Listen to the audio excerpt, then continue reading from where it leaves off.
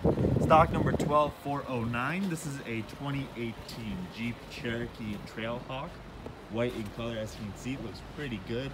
Uh, red tow hook just on the rear here, as you can see. Take a quick peek in the back. You do have a power lift gate. Just press of the button, it will lift itself for you. Quite a bit of storage space in the back, as you can see. And with just the press of a button on the inside, which will close once again, pretty good. Take a quick peek inside the back here as well. All black leather interior on the inside with red stitching. Looks very good, I must say. Beeping's just letting me know that the vehicle, the key is outside of the vehicle. Uh, meaning the vehicle does have keyless entry, also does have push button start and remote start. Red hooks on the front as well.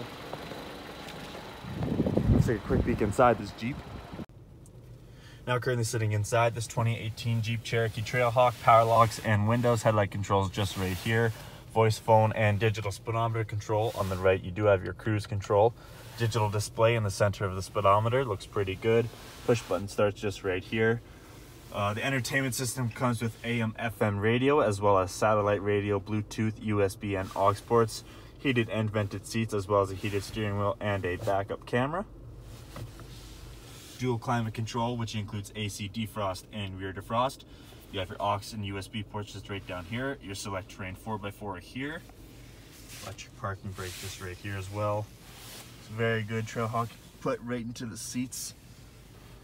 Quite a good looking unit. So come and take a look at it today at Davis Dodge in Fort Macleod. And let's see if we can't get you in your new ride.